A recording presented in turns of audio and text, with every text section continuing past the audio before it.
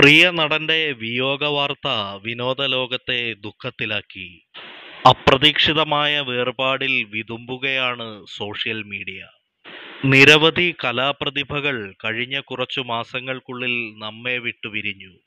അക്കൂട്ടത്തിൽ ഈ വിയോഗവും തീരാ നഷ്ടമായിരിക്കുകയാണ് സംഗീത നാടക അക്കാദമി അവാർഡ് ഉൾപ്പെടെ നിരവധി പുരസ്കാരങ്ങൾ സ്വന്തമാക്കിയ പ്രശസ്ത നടനും സംവിധായകനും തിരക്കഥാകൃത്തുമായ മോഹൻ അന്തരിച്ചു എന്ന വാർത്തയാണ് പുറത്തുവന്നത്. എൺപത്തിമൂന്ന് വയസ്സായിരുന്നു. ആയിരത്തി തൊള്ളായിരത്തി തൊണ്ണൂറ്റി രണ്ടിലാണ് മോഹൻ മഹാഋഷിയെ തെരഞ്ഞ് സംഗീത നാടക അക്കാദമി അവാർഡ് എത്തിയത്. ആയിരത്തി തൊള്ളായിരത്തി നാൽപ്പതിൽ രാജസ്ഥാനിൽ ജനിച്ചു വളർന്ന മോഹൻ പിന്നീട് നാഷണൽ സ്കൂൾ ഓഫ് ഡ്രാമയിൽ നിന്ന് പഠിച്ചിറങ്ങുകയും നാടകരംഗത്ത് സജീവമാകുകയുമായിരുന്നു. മാത്രമല്ല എൺപത്തിനാല് മുതൽ എൺപത്തിയാറ് വരെ നാഷണൽ സ്കൂൾ ഓഫ് ഡ്രാമയുടെ ഡയറക്ടറായും സേവനം അനുഷ്ഠിച്ചു.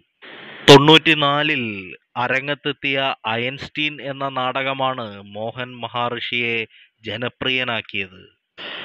ഇത്തരം വാർത്താവിശേഷങ്ങൾക്കായി ഞങ്ങളുടെ യൂട്യൂബ് ചാനൽ സബ്സ്ക്രൈബ് ചെയ്യുക. ഒപ്പം നിങ്ങളുടെ അഭിപ്രായങ്ങൾ കമന്റ് ബോക്സിൽ രേഖപ്പെടുത്തുക.